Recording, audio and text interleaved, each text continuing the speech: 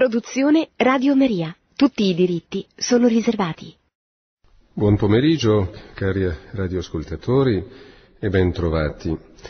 E continuiamo nostri, le nostre considerazioni su, sui fenomeni paranormali di origine divina ma anche di origine non divina. Siamo, grazie a Dio, siamo però nella considerazione, stiamo a considerare, a prendere in esame i fenomeni paranormali di ordine, di origine divina, ecco, che è molto meglio, eh, è molto più interessante, è molto più bello. Ecco.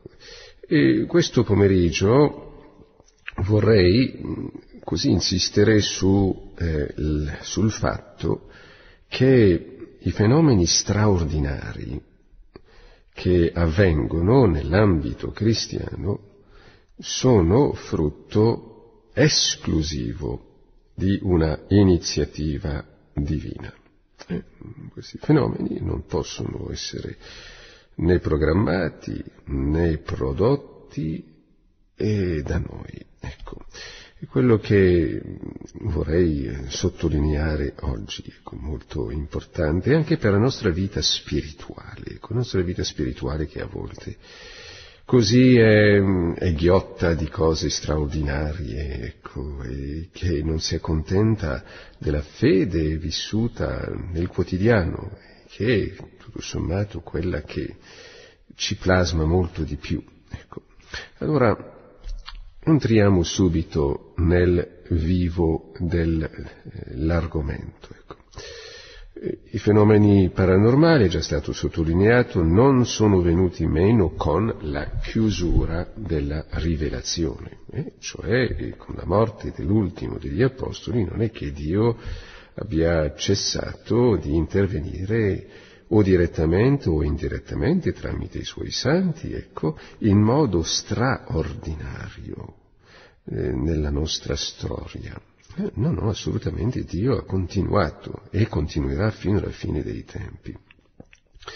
E quando lo vuole Lui, quando lo giudica opportuno, ovviamente, per la nostra salvezza, insomma. E questi eh, fenomeni straordinari proseguono ancora oggi, ecco, con modalità diverse, a volte con delle visioni, a volte con delle locuzioni o altre forme. E sono eh, a volte difficili da, eh, così, da eh, da discernere, ecco. non è sempli, semplice eh, sapere se questi fenomeni vengono da Dio. I, eh, i, I, criteri di discernimento eh, sono molteplici, già lo sapete, eh, perché mm, lo avete sentito più volte, eh, su queste antenne e, e si tratta di, comunque di essere molto attento, molto prudente, come del resto lo la Chiesa nei confronti di qualsiasi forma di eh, esperienza soprannaturale straordinaria. E comunque, eh, ciò su cui voglio insistere questo pomeriggio è sul fatto che questi fenomeni non possono derivare da una iniziativa nostra, da una iniziativa umana. Eh, I protagonisti di, delle così, visioni, eh, dei fenomeni straordinari, ecco, eh, che si sono manifestati, eh, che sono avvenuti dopo la chiusura della eh, rivelazione, ecco, i protagonisti concordano tutti nel confessare la loro incapacità a provocare questi fenomeni ad arte e anche la loro incapacità a sottrarvisi, eh, pur cercando di sottrarvisi. E, per esempio Teresa di Gesù a un certo momento scrive nella, nel suo, nella sua biografia, autobiografia, La vita, un libro interessantissimo, ecco, e pieno di, così, di insegnamenti che sono preziosi per la nostra vita spirituale. tutti dovrebbero leggere i grandi dottori della Chiesa, i dottori spirituali della Chiesa, tra, i, tra, quali, tra i quali, c'è anche Teresa di Gesù, eh, Teresa di Avila, quindi eh, Teresa di Gesù bambino, c'è Giovanni della Croce, ce ne sono degli altri. Allora, Teresa di Gesù dice, rimasi così quasi due mesi facendo quanto potevo per resistere ai doni e alle grazie di Dio, le grazie straordinarie, si intende, visioni, eh, estasi anche. Quanto più cercavo di distrarmi, tanto più il Signore mi avvolgeva di soavità e di beatitudine tale che mi sembrava di esserne completamente circondata e di non poterne uscire da nessuna parte, come infatti era. E c'è una, l'anonima religiosa che è autrice depositaria del cosiddetto manoscritto del Purgatorio, supplicò la consorella defunta, che si rivolgeva a lei, per ovviamente per una disposizione misteriosa di Dio, perché non è abituale una cosa del genere e soprattutto non può essere provocato come fenomeno, non era una seduta spiritica ovviamente, eh, supplicò alla consorella defunta di non manifestarsi più, moltiplicando preghiere, penitenze, devozioni, per ottenere tale grazia. A proposito, ah sì giusto, volevo ricordare che chi vuole seguire il, questo discorso che sto facendo, ecco, lo trova nel mio libro Carismatici, sensitivi e medium. Il sottotitolo è I confini della mentalità magica. Ripeto, carismatici, sensitivi e medium, i confini della mentalità magica. Edito alle edizioni studio domenicano ESD di Bologna.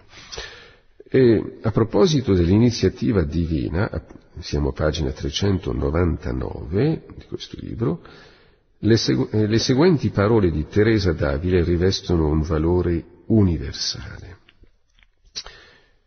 Questo, dice lei, accadde, siamo sempre nella sua autobiografia, accadde in tutte le visioni, nessuna esclusa. Noi non possiamo far nulla e i nostri sforzi sono del tutto inutili sia per vedere di meno sia per vedere di più. Il Signore vuole farci capire chiaramente che questa non è opera nostra, ma è una grazia sua. Così potremo avere molto minor superbia, anzi il fatto di considerare come il Signore ci toglie la possibilità di vedere ciò che vogliamo, ci può togliere questi suoi favori e questa sua grazia, lasciandoci completamente abbandonati, ci fa essere umili e pavidi e ci esorta a procedere con timore finché viviamo in questo esilio. Giovanni della Croce, nella sua salita al Monte Carmelo, dice la stessa cosa, per esempio riguardo alle parole sostanziali, sono delle locuzioni ma senza parole, praticamente, è come se fossero delle idee, dei concetti che ci venissero in mente eh, nell'anima, ecco, che ovviamente non sono prodotti da noi e che pur non essendo eh, così delle parole eh, pronunciate ecco, in modo, eh, in modo abituale, ma, ma, come se sorgessero ecco, dal, dalle profondità dell'anima, ma vengono da Dio in realtà. Ecco. Queste parole sostanziali però rimangono impresse, eh, molto impresse in chi le, le, riceve. Sono delle grazie mistiche molto potenti. Eh, allora Giovanni della Croce riguardo a queste parole sostanziali dice, nella sua salita al Monte Carmelo, L'anima non si deve preoccupare di volerle o non volerle, in quanto non c'è bisogno della sua volontà, onde Dio le conceda, né è sufficiente il suo non volerle a impedire che esse producano il loro effetto. si comporti con rassegnazione e umiltà. Molto semplice. Se vengono, le devi accettare però Giovanni della Croce altrove dice sì, accettarli, però senza darvi troppo peso. Se poi vengono da Dio, beh, produrranno senz'altro il loro effetto. Questo è, dice Giovanni della Croce. Eh, cioè questo, Giovanni della Croce è molto attento, eh, vuole che il cristiano segua una via ordinaria e quando il cristiano viene visitato da grazie straordinarie, lui eh, consiglia di non dare a queste grazie troppo peso, perché appunto, eh, beh sì, c'è sempre la possibilità dell'inganno diabolico, ecco, e lì bisogna verificare, ma soprattutto perché se vengono da Dio produrranno il loro effetto spirituale, si intende, anche se il recipiente, cioè il, il mistico eh, che riceve queste grazie straordinarie, non ci dà molto peso. Hm? E quindi dice Giovanni della Croce con rassegnazione, se vengono, beh, eh, bisogna prenderne atto e con umiltà. Umiltà vuol dire, si riferisce al fatto che non le dobbiamo assolutamente cercare. Dobbiamo camminare, come dicevo prima, ecco, eh, giorno per giorno assieme al Signore e nell'oscurità della fede. Prendiamo ora brevemente in esame le ragioni per cui va escluso l'intervento di requisiti o elementi naturali del paranormale post-biblico, cioè questo paranormale cristiano post-biblico si intende non esige nessun requisito, con, contrariamente a quanto avviene per la medianità. No? I medium sono delle persone che sembrano avere delle, sembrano, eh, avere delle predisposizioni, eh, coltivano addirittura la loro me, medianità, cercano di provocarla, eccetera. E beh, eh, per le grazie straordinarie nulla di tutto ciò, assolutamente e per vari motivi. Prima di tutto perché queste grazie non sono frutto di fantasia, poi non sono ricercate, poi giungono all'improvviso, eh, senza eh, così che le possiamo programmare. Allora, non sono frutto di fantasia, di allucinazioni, di suggestioni. E questa è una prima caratteristica eh, di queste grazie straordinarie eh, che provengono dall'aldilà, dall'aldilà. I fenomeni immaginari naturali, eh, lo sappiamo, eh, nascono per associazione di idee, scaturiscono da una elaborazione della mente, anche dal desiderio, perché insomma eh, vengono desiderate queste idee che, sulle quali ecco, si, si cerca di, ehm, di, ehm, così, di, di, influire, insomma, o di produrre. Eh, dice Teresa di Gesù riguardo a questo desiderio nel castello interiore alle seste mansioni, dice, quando il desiderio è veemente, la stessa persona si figura di vedere e udire quello che desidera, come avviene a coloro che sognano di notte ciò che di giorno hanno molto pensato e desiderato. Beh, Guardate, quando le cose vengono da Dio non possono essere fantasticate, immaginate, programmate, non possono nascere per associazioni di, de- di, idee, non possono essere elaborate dalla mente, dal desiderio, da un bisogno, da un'attesa. Beh, eh, no, queste cose avvengono e durano fin tanto eh, che, cioè avvengono senza tutto ciò. Invece, quando eh, siamo a livello naturale, a livello di, eh, così di fantasia, beh, ehm, queste fantasie durano finché la, la nostra attenzione eh, si, polarizza, si, polarizza su queste fantasie. In questo caso è, è il soggetto che è l'autore di queste fantasie, è lui che le gestisce Qui invece, nelle grazie straordinarie, nulla, ripeto, di tutto ciò.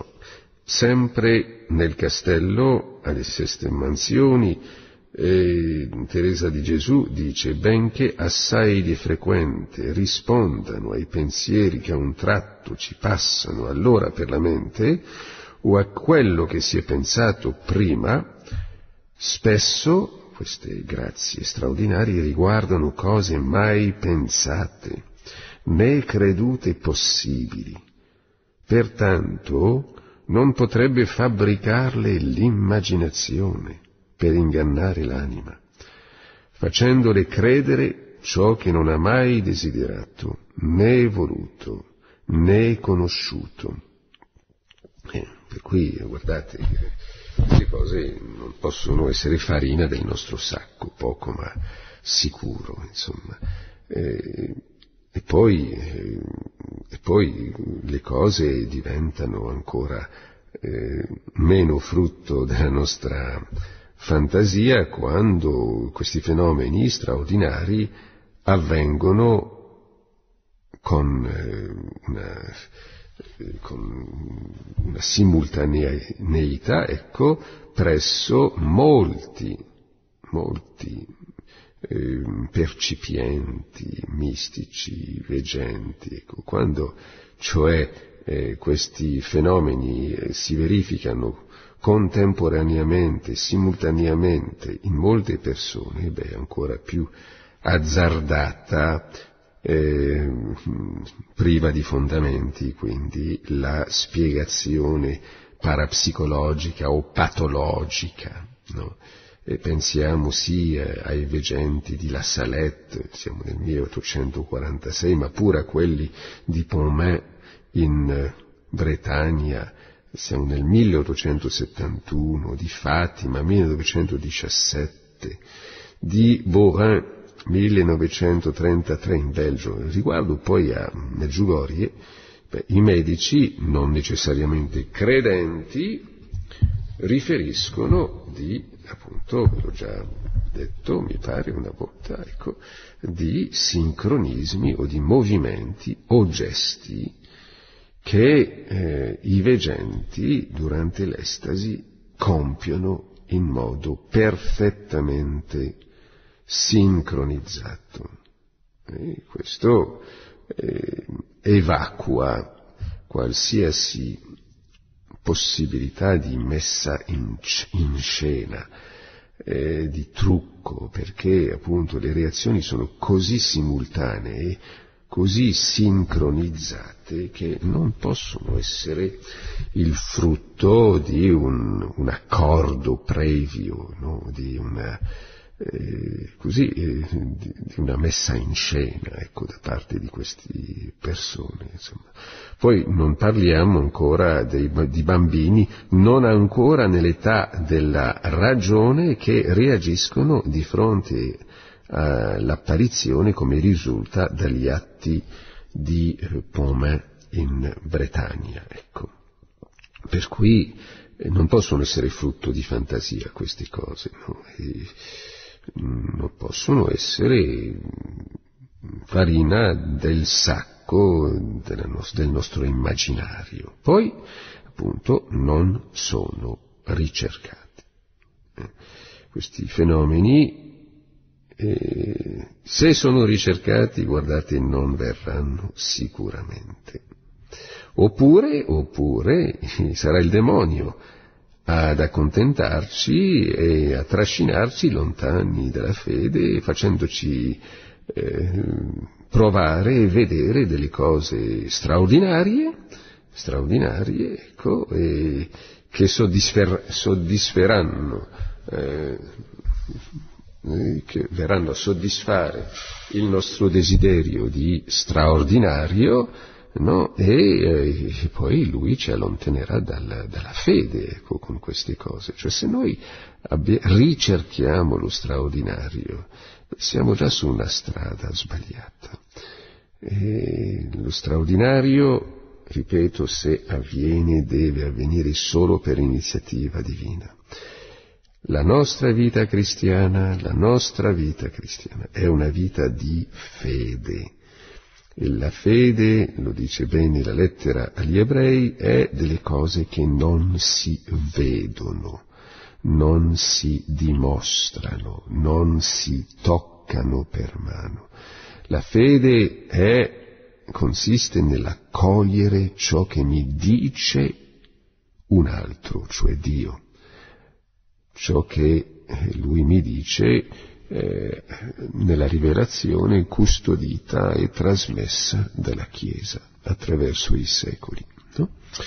E questa è la fede ed è questo che ci fa crescere, carissimi, non sono i fenomeni straordinari che ci fanno crescere, soprattutto se li ricerchiamo. Se Dio ce li concede, ovviamente, è perché ha un motivo, allora può darsi che ci voglia scuotere in qualche modo o affidarci una missione. Non è escluso questo, però, però eh, la strada, la vita cristiana, ordinaria è quella della fede. E questo è, è, così che noi cresciamo, per cui non dobbiamo stare lì ecco, a correre a destra e a sinistra alla ricerca di fenomeni straordinari, dobbiamo cercare di vivere ogni giorno alla presenza del Signore, una presenza ovviamente che non è toccata per mano, ma è creduta. Quando io prego di fronte, non so, al Santissimo, io non vedo il Signore, però so, sono certo che il Signore è presente nell'Eucaristia. No? È la certezza, una certezza che è soprannaturale. E questo che fa sì che io davvero eh, possa eh, affidarmi sempre di più al Signore e quindi crescere. Invece se io cerco dei segni, no, Gesù dice eh, a un certo momento, eh, questa generazione cerca dei segni, vuole delle cose straordinarie, ecco, per, eh, così per, per, credermi. Invece no, eh, dice lui, io, eh, ho parlato e, e, ho fatto, ho prodotto anche dei segni, ho fatto dei miracoli, eccetera. Allora, per quale motivo chiederne di continuo? No? Questo è, è, il suo ragionamento. Noi effettivamente dobbiamo fidarci a lui, non, non dobbiamo cercare di sfuggire alla nostra vita di fede ordinaria. È quella, vi ripeto, che ci fa davvero crescere.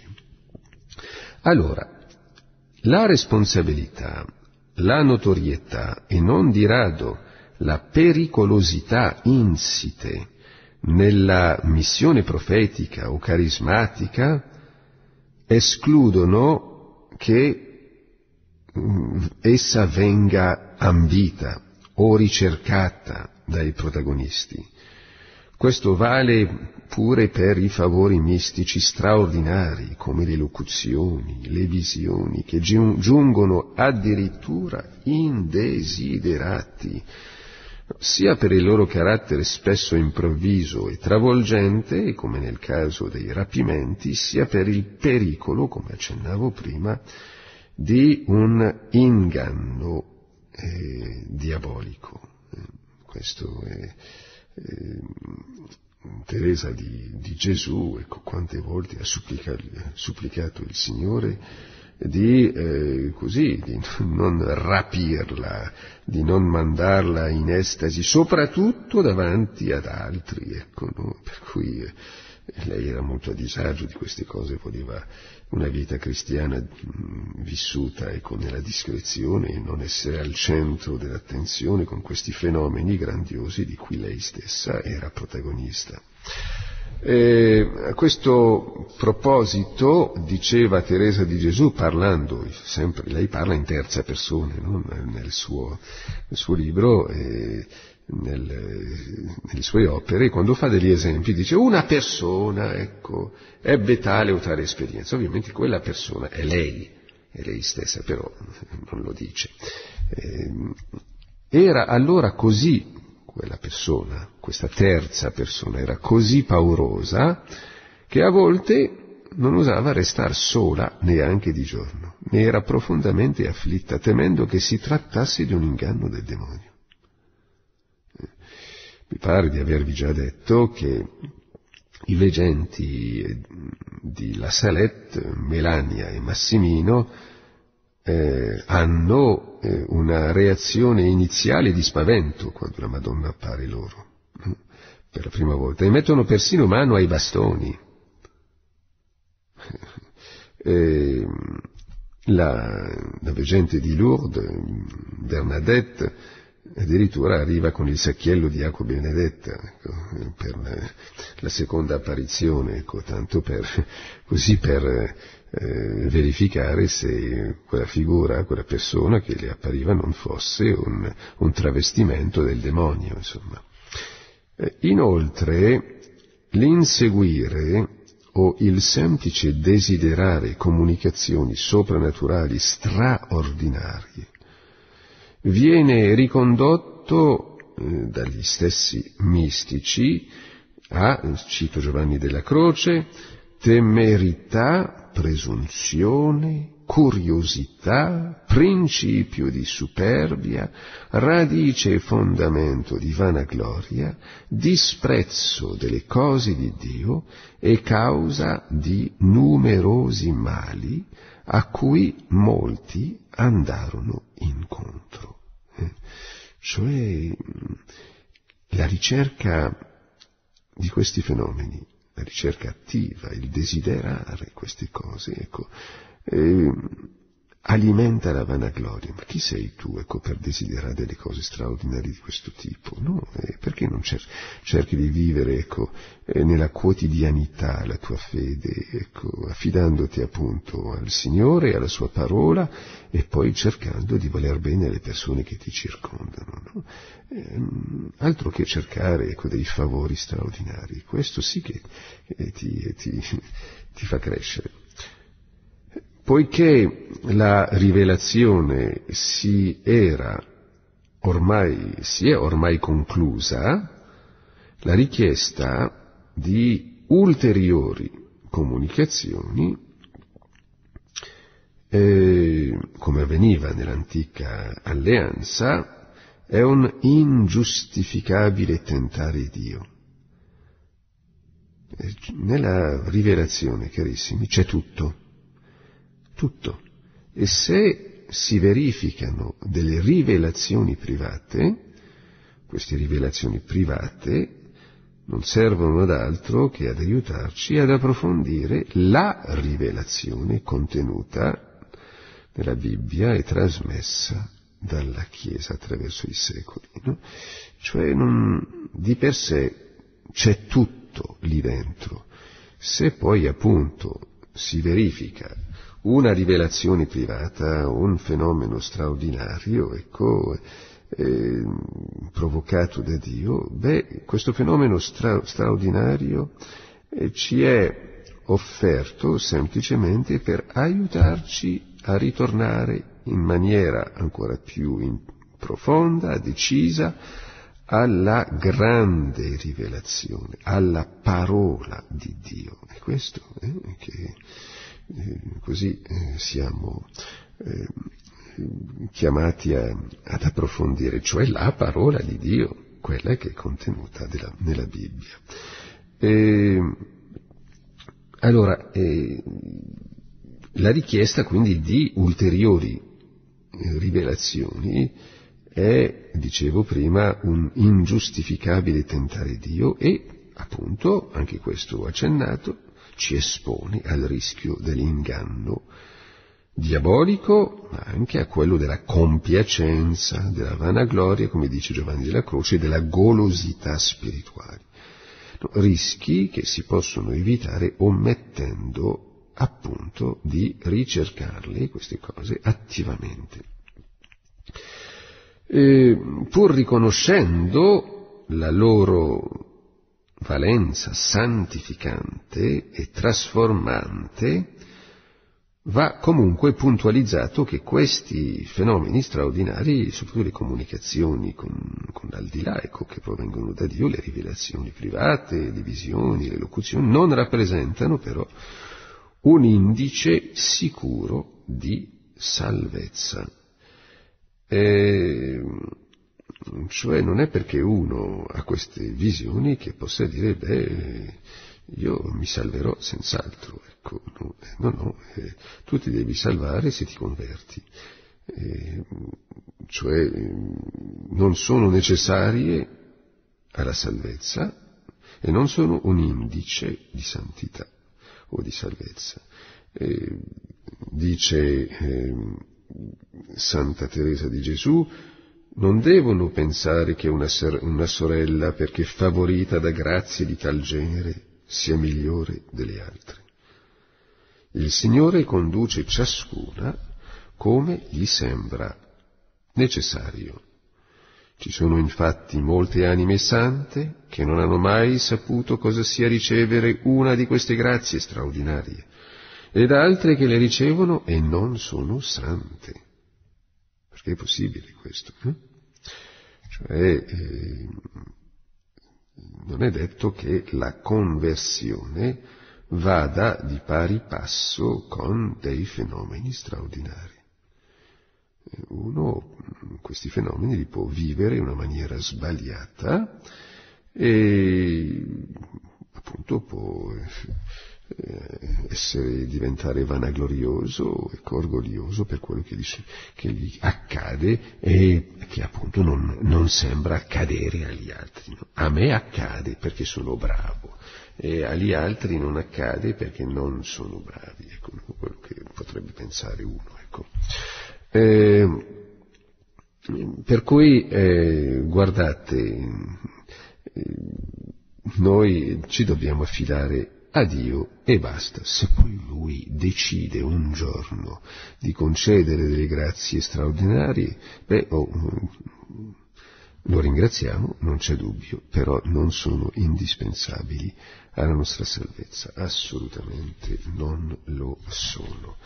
E, anzi, eh, Teresa di Avila dice che addirittura coloro che sono visitati da grazie straordinarie ecco, non, sono delle, non, sono delle, anime forti, eh, rivolgendosi, riferendosi alle persone che non hanno delle grazie straordinarie, Teresa di Avila ecco, precisa, Dio vi vuole trattare da anime forti, dandovi da portar qua giù la croce, come Sua Maestà stessa l'ha sempre portata. E quale amicizia migliore di volere per voi ciò che egli volle per sé? Potrebbe anche essere che non aveste un così grande premio nella contemplazione. Eh.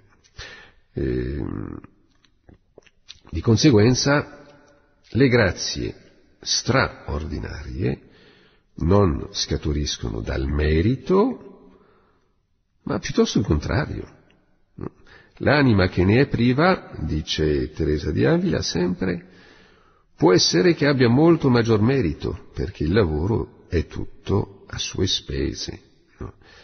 nel castello interiore lei prosegue dicendo per il fatto di ricevere molte grazie di tal genere non si merita più gloria, ma si è invece più obbligati a servire Dio proprio perché si riceve di più. Per quanto riguarda l'acquisto di maggiori meriti, il Signore non ce ne toglie la possibilità, tale acquisto è in mano nostra, dice lei. A questi motivi per rifuggire dalle grazie straordinarie se ne aggiunge uno più terra terra, ma di notevole peso, cioè coloro che sperimentano queste grazie straordinarie, beh, sanno che sono generalmente accompagnati da sofferenze. E questo Teresa di Avila lo, lo puntualizza, ecco, dice che è a prezzo di moltissime sofferenze averle dal Signore anche una sola volta cioè le persone che sono visitate da queste grazie sono chiamate poi a un certo momento a, a dare di più e quindi a pagare un prezzo maggiore, ecco, non è, non è ovvia la cosa, insomma. Ehm, per cui se uno non è forte, eh, beh, rischia, di, rischia di, di soccombere ecco, sotto il peso di questi grazie straordinarie. Ecco. E, mm, travagli, sono i travagli che accompagnano queste grazie straordinarie, ecco, eh, a volte eh, derivano dal fatto che eh, dei veggenti richiedono di offrirsi in riparazione dei peccati, per la conversione dei peccatori. Pensiamo al 13 di maggio del 1917, ecco, la richiesta fatta ai bambini di Fatima, ecco, una, di Fatima una, una, richiesta che lo sappiamo porterà alla morte prematura di due veggenti, eh, mm, così eh, si sacrificano. È drammatica questa storia, davvero. Si sacrificano per la salvezza delle eh, anime. Poi non parliamo della scelta di una vita di nascondimento da parte di Suor Lucia, eh, che nonostante il fatto che sia stata posta al centro dell'attenzione, eh, così, eh, grazie tra virgolette a queste apparizioni, Beh, eh, Suor Lucia ha deciso di sottrarsi agli occhi di tutti e di entrare in clausura. E quindi una vita di totale nascondimento. No? non diventa una superstar, assolutamente, ma eh, così eh, si ritira per pregare, ecco, eh, lontano dagli occhi di tutti. Per accedere a Suor Lucia eh, ci voleva un permesso non solo della sua superiore, della sua priora, ma anche della Santa Sede, tanto per farvi capire eh, come era eh, protetta ecco, questa, questa, ehm, questo isol, questo, come era protetto questo isolamento di Suor Lucia. E quindi guardate che eh, non sono, eh, non sono delle, delle, prove di poco conto ecco, che accompagnano queste visioni, questi fenomeni eh, straordinari. Eh, senza parlare no, delle, delle, notti eh, che attraversano i mistici anche. In ogni modo, tutti questi motivi messi insieme però eh, devono portare a rifiutare in modo indiscriminato le grazie straordinarie, no? eh, o addirittura a eh, così eh, vederci qualcosa di negativo, assolutamente. Se ci sono, sono sempre un dono di Dio da accogliere, ma il discorso è che non devono essere ricercate, non sono quelle grazie straordinarie che sono le principali responsabili della nostra crescita spirituale e della nostra salvezza. Questo è il discorso. Quindi non disprezzare, vedete che l'equilibrio non è semplice. Non disprezzare, ma non ricercare. No? con l'umorismo che caratterizza Santa Teresa di Avila, eh, lei dice, sembra che ad alcune persone faccia spavento anche solo udire il nome di visioni o di rivelazioni. Non capisco la causa per cui ritengono così pericoloso questo cammino attraverso il quale Dio conduce le anime, né da dove proceda questa paura. Eh, cioè, eh, guardate, dice Santa Teresa di, di Lisieux, insomma, eh, di Avila, scusate, eh, quando, eh, quando, questi fenomeni avvengono, beh, oh, bisogna accoglierli come eh, provenienti da Dio, insomma, e, chi ne sente parlare non si deve subito ecco, spaventare come se eh, venisse dal, dal, dal, di, dal demonio, insomma. Eh, la ragione quindi di questa apertura verso le comunicazioni straordinarie, le grazie straordinarie, sta proprio eh, nella loro uni, eh, utilità, cioè se Dio, se Dio li suscita, li suscita questi fenomeni straordinari eh, perché hanno una loro utilità. In certi casi non sono per tutti, però per alcuni hanno una utilità sia unitiva o mistica, cioè uniscono eh, i protagonisti maggiormente a Dio, o perlomeno possono unirsi maggiormente a Dio, e hanno una utilità anche carismatica, cioè eh, questi, eh, queste grazie a volte servono non solo o non principalmente per la santificazione, di, dei protagonisti, ma per la santificazione della Chiesa. Per cui, oh, eh, senz'altro, eh, la stessa Teresa di Avila, ecco, è riuscita ad affrontare tutte le prove della sua vita, le lotte eh, alle quali è stata sottoposta, ecco, le, le, le, così, le, opposizioni provenienti anche dalla gerarchia, eh, e, beh, sono queste grazie straordinarie che l'hanno anche sostenuta, ecco, proprio perché aveva un carico molto pesante da portare, ecco. lo stesso Giovanni della Croce, sempre molto guardingo, ipercritico quasi di fronte alle locuzioni e alle visioni, nega che possano, in certi casi precisi, contribuire eh, alla crescita della vita soprannaturale di qualcuno e all'utilità comune.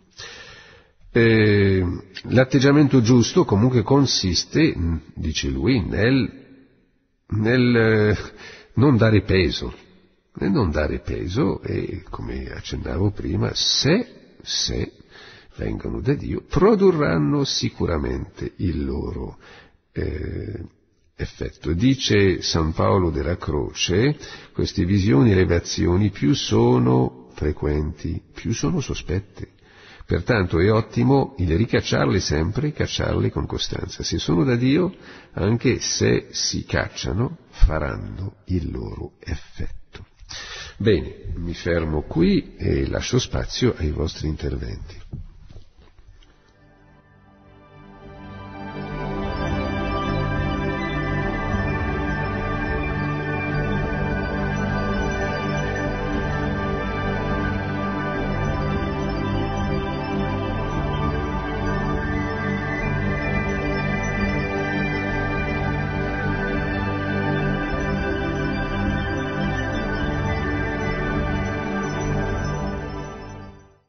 Sì, pronto?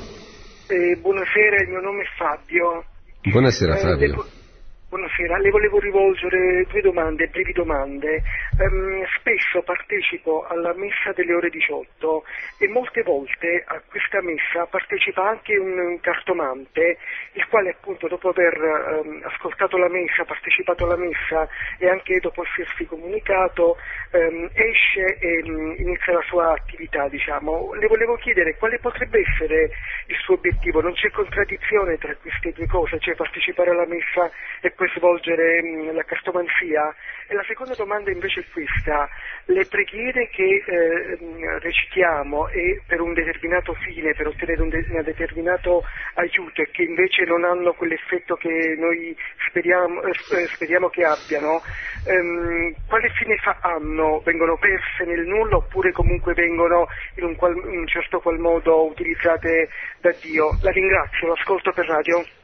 Sì, allora, il caso del cartomante che, eh, che viene a messa eh, regolarmente, che addirittura si comunica, eh, non so se fa ridere o fa piangere, eh, perché è una contraddizione tremenda questa persona, o si vuole, vuole attraverso questo suo gesto, ecco, eh, vuole che, eh, rassicurare la gente al suo riguardo, eh, far credere alla gente che è una persona pia, eccetera, quindi eh, non ha nulla da temere venendolo a consultare, oppure è un incosciente, un incosciente, non si rende conto che il partecipare alla messa, dove la grazia di Dio ci viene donata, si oppone, è, una, è in opposizione eh, così eh, frontale con l'esercizio della cartomanzia, perché la cartomanzia,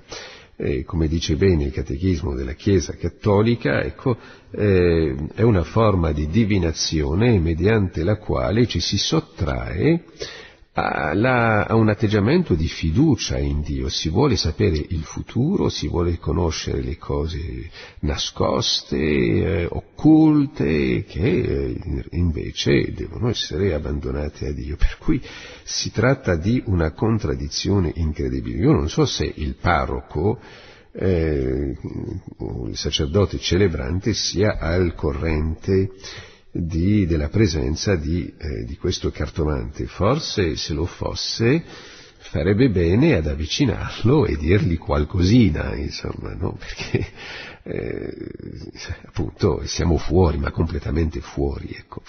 Quello che potrebbe ricevere dalla messa lo, lo perde e lo rinnega con il suo comportamento concreto, insomma.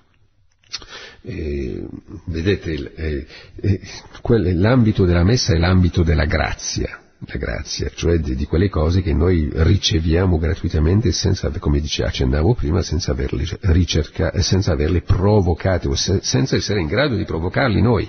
Invece la cartomanzia non è l'ambito della grazia, è l'ambito della tecnica, per cui io attraverso dei trucchi, dei, delle scorciatoie, ecco, penso, pretendo, pretendo di conoscere o di accedere a delle cose nascoste o future. Poi, riguardo alla preghiera, ecco, eh, Fabio diceva che eh, capita di pregare e di non essere esaurito, eh, esaudito. Allora cosa, cosa eh, avviene di queste preghiere? Sono perse? chiedeva Fabio. Beh, prima di tutto Fabio, guarda, non sei il solo eh, a, a, vivere, a fare questa esperienza. Penso che è un'esperienza che facciamo tutti. E um, la preghiera è una realtà misteriosa, eh, perché sì, eh, noi siamo chiamati a pregare, no? Gesù ce lo dice, no? pregate e otterrete, eh, cioè noi seguiamo effettivamente un invito di, esplicito no? di Gesù, per cui sarebbe illecito aspettarsi degli effetti concreti eh, che noi abbiamo in mente, ecco, della preghiera. Però non sempre è così. Eh, però dobbiamo eh, capire prima di tutto che eh, Gesù dice che dobbiamo pregare il Padre nel suo nome, cioè ovviamente affidandoci alla sua volontà. Eh, noi dobbiamo eh, cercare di capire se quello che noi chiediamo rientri nella volontà di Dio. A volte noi ecco, eh, chiediamo delle cose che oh, non rientrano nella volontà di Dio. Però quel che volevo dire in ultima analisi, la cosa più importante da sottolineare è questo. Se noi preghiamo con fede, beh, anche se la preghiera nostra non raggiunge l'effetto concreto, esplicito, quello che avevamo in mente, insomma, eh, che noi desideravamo raggiungere, se non lo raggiunge non vuol dire che la nostra preghiera sia stata inutile, perché la preghiera non è mai inutile se fatta con fede, cioè produce sempre un effetto, anche se non è quello che ci aspettiamo. Cioè si può pregare per la, la guarigione di una persona e questa guarigione non avviene, però in compenso questa persona eh, nell'affrontare la malattia, ecco, eh, non solo si converte, ma dimostra di avere, un, di essere sostenuta da un, una forza, una serenità grandissima e questo è una grazia in un certo senso molto, anzi molto più importante eh, della stessa guarigione fisica, cioè qui è, è stata ottenuta la, la, la, guarigione dell'anima. Certo, quella persona avremmo avuto piacere di, di eh, vederla continuare a vivere al nostro fianco, però è morta. Però sì, è morta in quale modo? Nelle migliori disposizioni e quindi, quindi nella, se abbiamo fede dobbiamo essere contenti. Pronto? E buonasera padre, mi chiamo sì? Graziella e telefono da Frosinone e Sì. lei mi ha tolto mezza spina dal cuore con questa sua catechesi meravigliosa, ma veramente toccante. Dunque, ecco, volevo dire questo, Grazie. io mh, sono su un cammino di conversione da quasi sette anni e ehm, la mia preghiera va sempre aumentando, io mh, penso proprio che sia un dono perché eh, proprio io non mi stanco mai di pregare e non lo sento come un dovere, no? È, mh, è come un desiderio forte, è come se, che dire, se Dio avesse bisogno di me, io lo so che Lui non ha bisogno di me, però eh, mh, proprio gli dedico molto tempo, ma molto volentieri eh, la mattina, la messa, l'Eucaristia, l'adorazione prolungata. Ora, mm, quando prego, mm, quando adoro così a cuore aperto, no? a cuore a cuore, mi viene certe volte il desiderio di dire a Gesù, proprio così a mezzo metro di distanza, dico forse mm, Gesù qualche volta ti farai vedere e poi mi viene subito il timore di Dio, come se io avessi azzardato a chiedergli qualcosa di troppo e allora gli dico subito ma no, dai, non ti preoccupare, non ti preoccupare, mi sta bene così, anche perché tu stesso hai detto, beati coloro che eh, crederanno senza aver visto, e però poi gli dico, però una cosa te la chiedo, il dono della preghiera non me lo togliere, perché, mm, eh, perché niente, sto bene e quasi quasi mi sembra che questo dono eh, cioè, mh, mm, mi fa sta bene troppo me, eh, lo, mi sento quasi indegna di, di questa grazia, io non so come spiegarglielo. Ho capito, sì. La ringrazio molto eh, di questo suo intervento, è molto eh, prezioso effettivamente. Guardi, eh, sì, eh, senz'altro eh, la sua preghiera è un dono, come dice lei, non c'è dubbio. Non è detto però che sarà sempre così, eh, forse un giorno verrà in cui farà fatica a pregare e pregherà in una maniera meno sentita, tra virgolette, in una maniera che non le dà più le gratificazioni di prima, per cui dovrà affidarsi di più alla volontà. E le sembrerà ecco che Dio si sia ritirato, le sembrerà che eh, Dio non ne vuole più bene, cioè, invece è tutto il contrario, perché Dio, eh, se questo dovesse avvenire, se questo dovesse avvenire, ecco, eh, beh, eh, Dio attraverso questa prova, perché è sempre una prova, ecco, la vuole chiamare una fede ancora più, più profonda. Eh? Per cui ringrazi Dio di questo dono della preghiera sentita, ecco, e eh, vissuta volentieri, come ha detto lei, lo ringrazi tanto, tanto, tanto. Però non si stupisca se un giorno questo dono eh, debba apparentemente eh, ridimensionarsi o addirittura eh, scomparire. Eh, ma se, se, ripeto, ciò dovesse avvenire, e non si creda assolutamente abbandonata da Dio, è tutto il contrario, anzi è Dio che la chiama a eh, qualche cosa di più, ancora più profondo e di più importante. Poi eh, lei dice, no, qualche volta quando prego ecco, eh, esprimo il desiderio a Gesù di, eh, che, che, si faccia sentire o vedere, eccetera. Poi dopo eh, dopo ecco, eh, eh, viene colta da un sacro timore ecco, e poi eh, non, ho, eh, non, non, devo chiedere questo, eccetera. È un atteggiamento giusto, è un atteggiamento giusto, non è presunzione come il modo con cui vive ecco, questo, questo desiderio, non è presunzione, se è accompagnato da timore, senz'altro, e soprattutto se questo desiderio è eh, dettato dall'amore. No? Quando si ama una persona, beh, è normale volerla vedere, volerla sentire, volerla toccare, è normale, normale. E, però, eh, appunto, eh, come dice lei, eh, questo nostro desiderio deve essere sempre accompagnato da timore, perché in ultima analisi chi sono io? Ecco, per pretendere o solo desiderare una cosa del genere. Hm? Quindi la ringrazio molto per sua, questo suo intervento.